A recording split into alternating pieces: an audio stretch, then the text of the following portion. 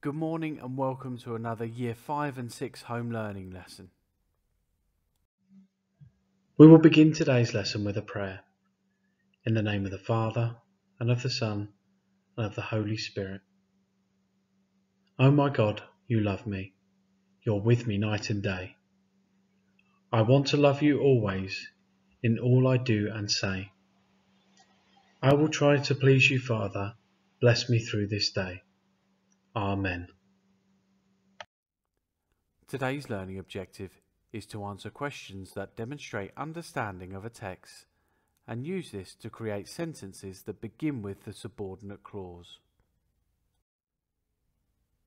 During this unit, we will explore the book Can We Save the Tiger by Martin Jenkins and illustrated by Vicky White. The world's quite a big place, you know, but it's not that big when you consider how much there is to squeeze into it. After all, it's home not just to billions of people, but to the most amazing number of other kinds of living things too. And we're all jostling for space. Us humans have changed the world a lot over the years to make room for, our, for ourselves and to produce the things we need. We've turned forests into farmland, dammed rivers, and built towns and cities to live in. Some of the other animals and plants that we share the earth with have coped with the changes very well, but some haven't. In fact, some have coped so badly that they've not, they're not here anymore they're extinct. Which means we'll never see a live dodo. Or a Steller's sea cow. Or a marsupial fox. Or a great auk. Or a broad faced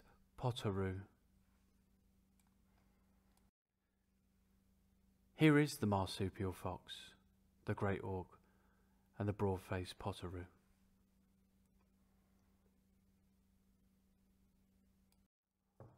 Or I could go on and on. And then there are all those other species that are still around, but only just. They're in danger of becoming extinct, just like the dodo and the Steller sea cow. There are so many endangered species all over the world that it's hard to pick out some special ones. Still, I'm sure you'll all agree that tigers are pretty special. Here is some information about the tiger, or to give it its proper name, the Panthera tigris. This states where it is found, like countries in Bangladesh, Cambodia, China, and India. Its size, weighing up to 300 kilograms and measuring up to 3.5 meters long. Its lifespan of up to 20 years. Its habits, its breeding, what it eats, and most importantly, the numbers left in the wild, which is fewer than 2,500.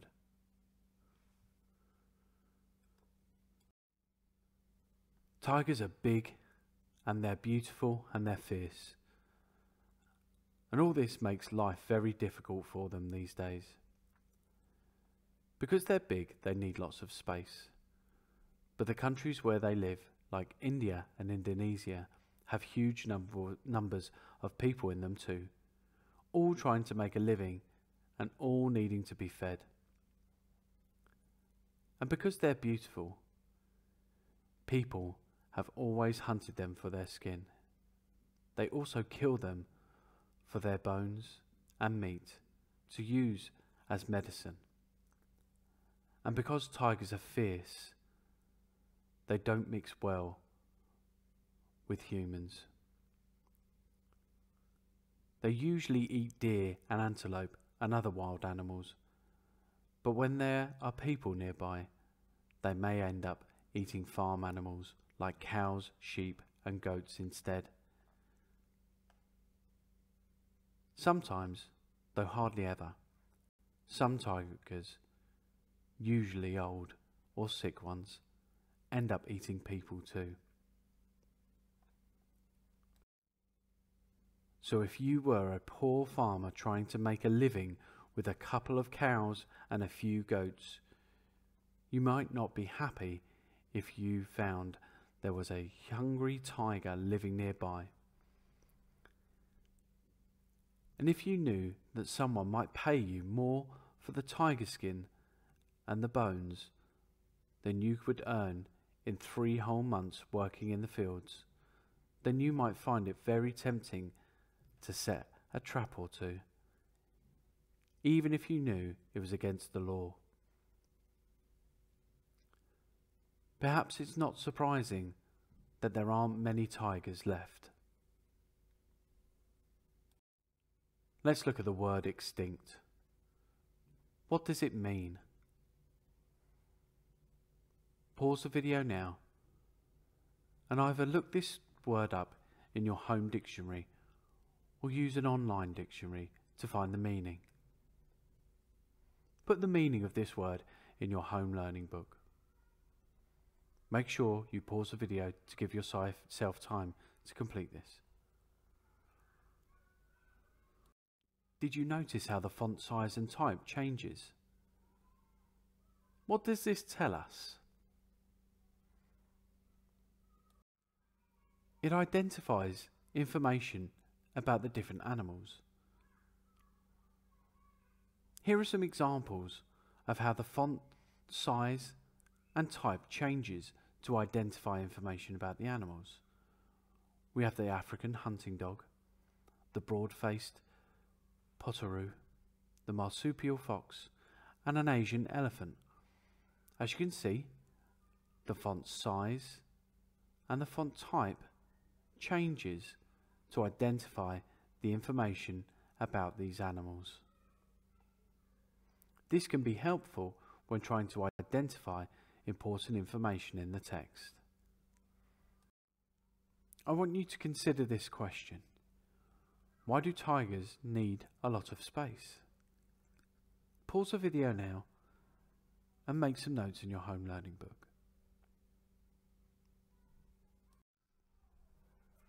So I think the reason that tigers need a lot of space is because they are large, energetic animals. And why do people hunt tigers? Again, pause the video and make some notes in your home learning book. These will all come in handy later on. So I think the reason that people hunt tigers is because their meat can be sold for large amounts of money. Now, this is just one of the reasons. Make sure you have more than one reason in your home learning book. Here's another question. Why don't tigers mix well with humans? Pause the video now and answer this in your home learning book. I think that tigers don't mix with humans well because they are fierce and dangerous creatures. Do you notice anything about the answers to each of these questions? That's right, they all start with the subordinate conjunction because, and they are all subordinate clauses. Let's look at how the conjunctions are chosen by the author. Let's look at the words because, so, and but. And here's a quick task. Explain how these have been used and what effect it has. This is the part of the book that we're going to explore again. Remember, you're looking at the conjunctions that the author has chosen.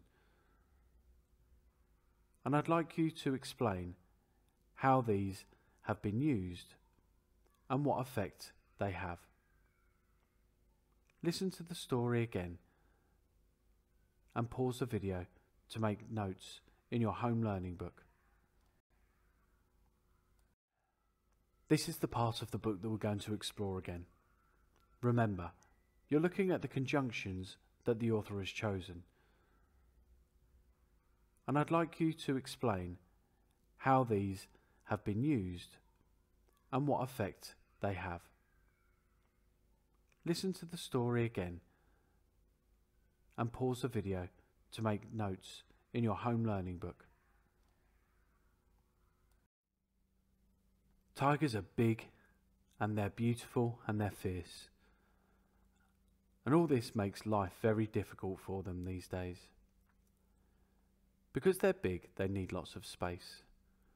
But the countries where they live, like India and Indonesia, have huge number, numbers of people in them too, all trying to make a living and all needing to be fed. And because they're beautiful, people have always hunted them for their skin. They also kill them for their bones and meat to use as medicine.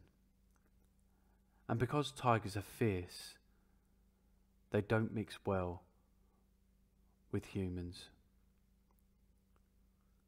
They usually eat deer and antelope and other wild animals, but when there are people nearby, they may end up eating farm animals like cows, sheep, and goats instead.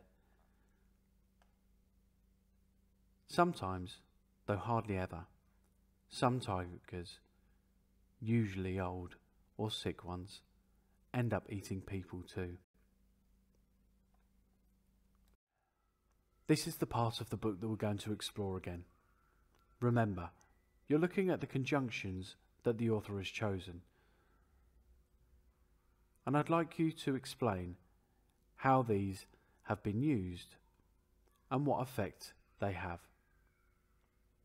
Listen to the story again and pause the video to make notes in your home learning book.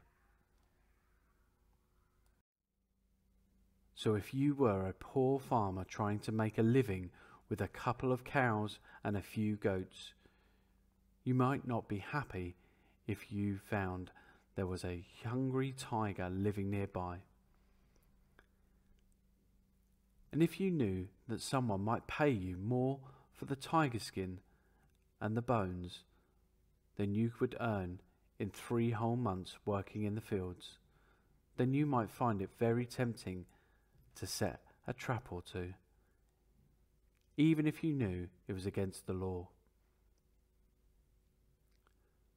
Perhaps it's not surprising that there aren't many tigers left. Let's look at these clauses. Because they are big. Because they are beautiful. Because tigers are fierce. Can these exist by themselves?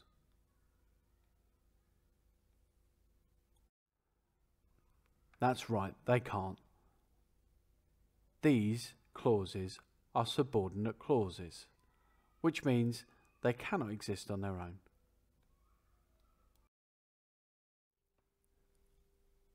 First, let's look at what a clause is. A clause is a group of words that includes a subject and a verb.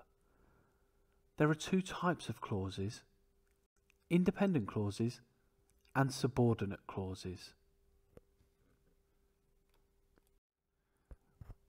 The independent clause makes sense on its own because it is a complete thought. For example, I went to town. It was red. A subordinate clause supports the independent clause. The opening words of a subordinate clause show that they are dependent on the independent clause. For example, after the storm cleared, because he didn't like chocolate. As you can see, the opening word shows its dependence on the independent clause. These are usually subordinate conjunctions. A subordinate clause can come at various points in a sentence. You might use one at the front of a sentence. For example, a fronted adverbial can be a type of subordinate clause. Like a bullet speeding through the air, he ran through the door. As you can see, the fronted adverbial is the subordinate clause. You might want to use one at the end of a sentence. She went straight home after school because she needed an early tea. As you can see, the beginning of the sentence would make sense on its own. But we've added a subordinate clause using the conjunction because to add more detail. Sometimes they are even in the middle of sentences. Here's an example. My brother Richard, who lives in Australia, is coming home for Christmas. If we take this subordinate clause out, the sentence still makes sense. Here it is without the subordinate clause. My brother Richard is coming home for Christmas.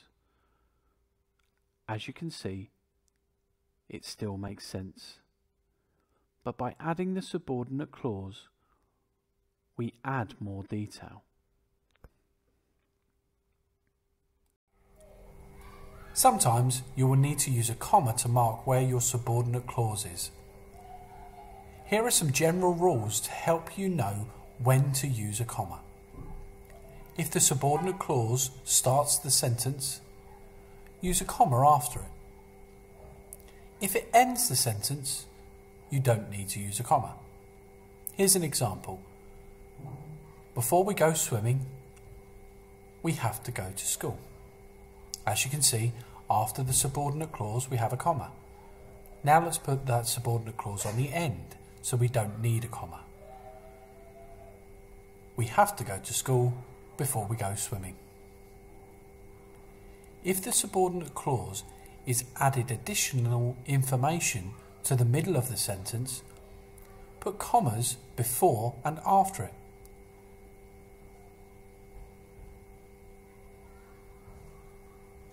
If you could put parenthesis, brackets, around your clause, it needs commas. Here's an example. Tomorrow morning, when the clocks strike nine, school will begin. Let's take that out. Tomorrow morning, school, school will begin. As you can see, the additional information has been taken out.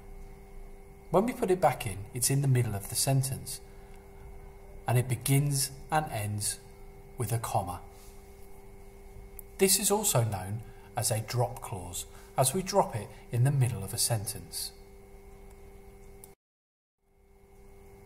Conjunctions are used to start subordinate clauses. Here is a collection of conjunctions. Can you use the conjunctions to make subordinate clauses for this sentence? She walked for an hour. Here are the conjunctions. Which while, when, until, after, before, so that, just then. Here's an example to help. After she had eaten lunch, she walked for an hour. I've used the conjunction after. I've used it at the beginning of the sentence, and so is the subordinate clause. So that means after the subordinate clause, I have added a comma. Try and use these subordinate clauses and subordinate conjunctions in different places in the sentence. Pause the video now and give it a go. So, what is a subordinating conjunction? A subordinating conjunction is a word which still links two clauses together in a sentence, but the subordinate clause it adds does not make sense on its own. Let's look at a few examples. I will be late if I don't get the next bus. I've used the subordinating conjunction if to link the subordinate clause I don't get the next bus. I will be late is the main clause. This clause makes sense on its own. The subordinating conjunction, again, is if. It starts the subordinate clause. And the subordinate clause is if I don't get the next bus. This doesn't make sense on its own, but does add extra information to the main clause. Let's look at this question again. Why do tigers need a lot of space? We can place the subordinate clause, for example, the answer to the question, at the beginning of the sentence and turn this question into a statement. So here it is. We have the subordinate clause at the beginning and we've now turned the question and answer into a statement.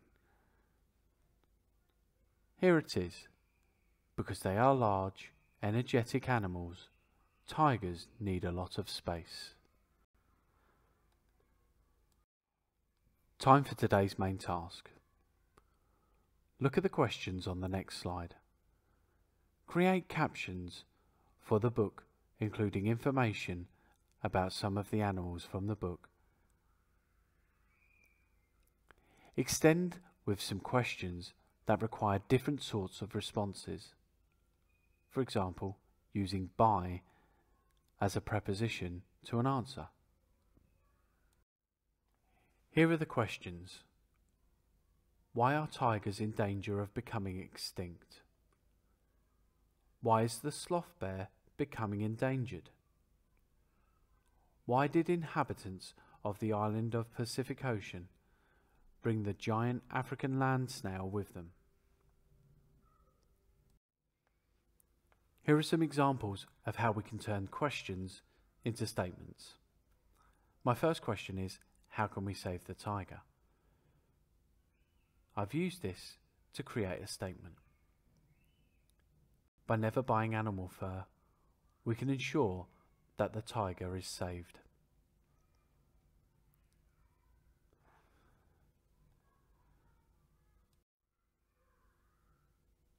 Here's a further challenge. Can you create some questions of your own and then answer them in the same way?